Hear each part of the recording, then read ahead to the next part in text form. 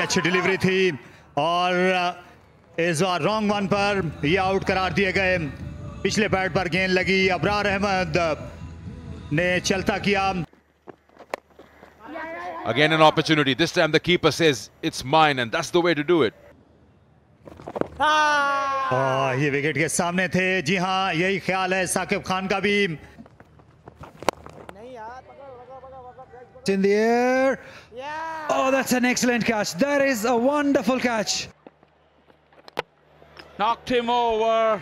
Inside edge. और यहाँ पर स्टंप हो जाएंगे और अच्छी डिलीवरी